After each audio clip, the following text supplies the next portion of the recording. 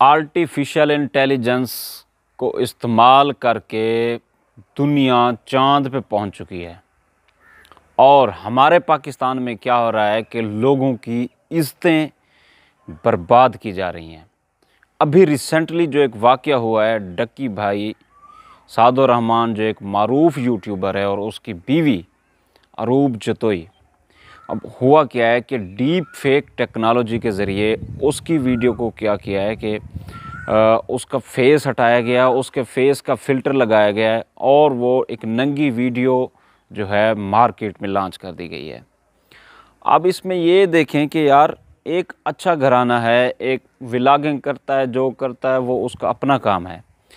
लेकिन ऐसे किसी की इज़्ज़त उछाल देना कितना दर्दनाक काम है।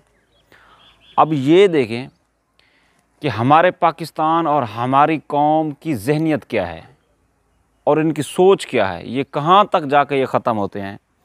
ये लोग अब पीछे लगे हुए हैं कि कहीं से वही वाली वीडियो लीक मिल जाए, कुछ मिल जाए, देख लें, हम भी दीदार कर लें, ये कर लें, वो कर लें। और हमारे पाकिस्तान में ये सिर्फ़ एक वाक़ नहीं हुआ। ये तो उसकी ऑडियंस ज़्यादा है, उसके फॉलोअर ज़्यादा हैं, उस यूट्यूबर के, जिसकी वजह से वो मशहूर हो गया है। ऐसे हमारे पाकिस्तान में वाक़ात डेली की बेस पे रूनमा हो रहे हैं, जिसका पूछने वाला कोई नहीं है। हमारे मुल्क में ये सिस्टम चल पड़ा है, एक ऐसी गंदी रिवायत चल पड़ी है कि कोई ऐसे करता है कि किसी के घर में खुफिया कैमरे लगा जाता है, कोई ऐसे करता है कि कोई नंगी वीडियोस बना लेता है, फिर उसको ब्लैकमेल करते हैं। अब रिसेंटली जो वाक़ हुआ है ये वाक़ मतलब नाकबिल बयान है कि एक हस्ती बस्ती फैमिली को एक अजवाजी रिश्ते को आप लोग तबाह बर्बाद करने पे लगे हुए हैं। शर्म आनी चाहिए जिन लोगों ने ये वाला काम किया है। अब हमारी कौम का आप ये देखें कि तरक्की का तरक्की का सवाल तरक्की का जो तो, ते है ना ते ये उसको भी नहीं टच कर सकती। क्यों?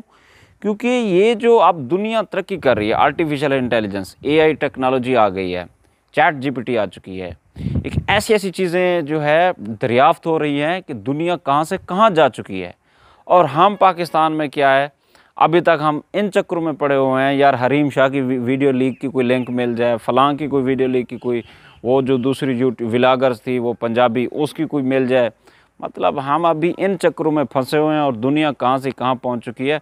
और हमारा जो रिवायती हरीफ है, भारत, वो चाँद पे चला गया और हम अभी तक हरीम शाह की लीक वीडियो के पीछे लगे हुए हैं। हम कभी तरक्की नहीं कर सकते। वासला